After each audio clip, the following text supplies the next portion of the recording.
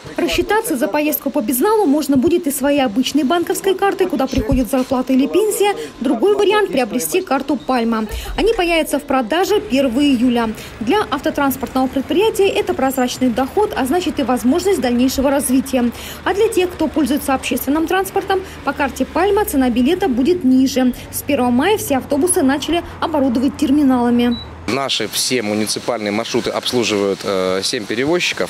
Э, у нас э, именно терминалы, те, о которых я говорю, и, соответственно, э, карта Пальма будет работать в, у всех наших перевозчиков, кроме э, Транссервис 6. Эта ситуация такая, ну, на сегодняшний день. Я очень надеюсь, что в ближайшем каком-то будущем и Транссервис 6 тоже э, включится и войдет в эту систему, подписав договор с нашим оператором. В департаменте транспорта пассажиров просят, если терминал не работает, но он в автобусе есть, сообщить об этом на горячую линию, телефон которой всегда можно увидеть в общественном транспорте.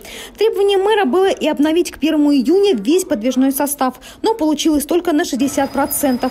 Объем инвестиций по лизингу составил 1 миллиард 300 миллионов рублей. Полностью заменить сочинский автопарк не получилось. Озвученная перевозчиками причина такова. Завод-изготовитель не справился с объемами поставки. В чем причина? Если они будут выяснены не в том, что я не верю, что заводы там, все заводы такие у нас, или все поставщики у нас такие недисциплинированные. Ну не верю я в это. Поэтому они доложат каждого, вот мы соберем, вы будете, значит, он будет, я, и скажу, вот вы мне дали обязательства, написали, дали дорожную карту, не выполнили. Работа в этом направлении продолжается, как и работа по контролю за земельными участками на предмет незаконного использования. Только в Адлерском районе обследовано 135 территорий, которые расположены вблизи пляжей. В результате на землях под ИЖС выявлены объекты торговли, общественного питания и услуг. Уже начался сезон, и они начали работать. Объекты были небольшие, мангалы, а сейчас мангал, еще и столовая, или там, ресторан.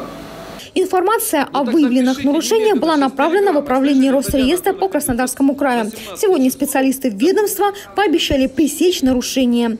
Елена Овсецина, Николай Тихонов, телекомпания ФКТ. Понятно, что это их работа, но...